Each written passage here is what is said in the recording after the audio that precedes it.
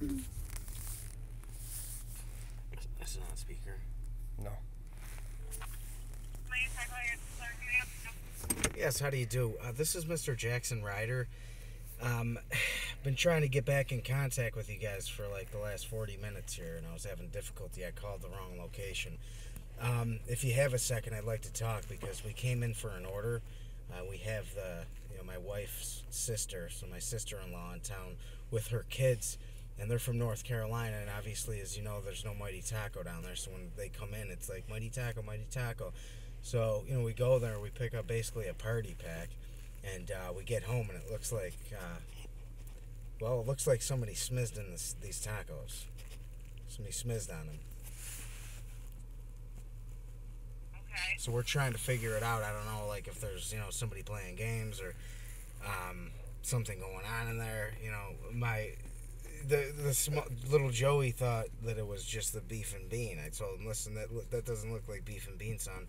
And they're over and they're in there going off on it right now. You know, which is fine, but it looks like somebody, you know, you know, it looks like So what were they supposed to be? Well, it was you know there was uh, beef and bean burritos. There was a large chicken fajita, medium with sour cream.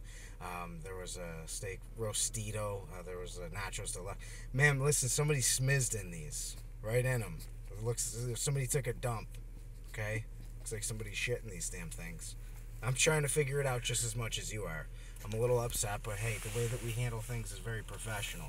I prefer, I, you know, I appreciate your professionalism, but you know, to be honest with you, how would you feel if somebody shitting your taco? Yeah.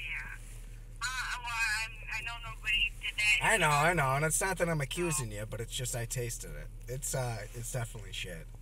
You know, and it's fine. It's 2012. It's not every day that it happens, but like I stated, I smelled it, I looked at it, I tasted it, I felt it. It's definitely shit, and it's big. So somebody smizzed right in these tacos. Okay, I'm trying to figure it out just as much as you are. Trust me, I'm a little confused too. I'm thinking about filing a suit. But uh, before we do that, I have my receipt here, so I'm gonna come back in and uh, we'll work it out. Okay? Okay. How do you want to work this? Because I'm basically at this point, uh, you know, I could come in there and we could like do a trade. You know, I could come in there and take a dump on the floor. We could call it even. You gotta let me know, you know, because I'm out here. This is what I do. I'm a professional, a specialist. They call me in when nobody else could do the job, type of thing. You know what I mean? But when it comes to shit, I'm not gonna sit there and eat it.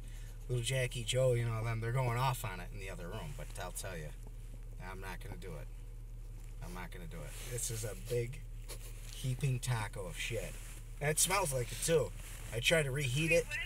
You should smell this damn place right now. You should smell it. My wife's gonna come at me guns hot. You know what that means? I'm gonna try to bang her tonight, and then all of a sudden she's gonna roll over guns hot.